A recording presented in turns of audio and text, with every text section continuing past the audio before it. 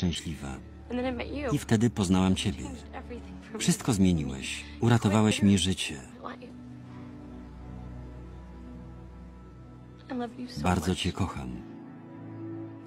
Nie mogę się doczekać, żeby zobaczyć, jak będzie wyglądać Twoje życie za yourself 60 60 lat. or 70 years when I see you again. I can guarantee it won't be Mogę być wtedy w liceum. Bądź szczęśliwy. Do zobaczenia niebawem. Do zobaczenia.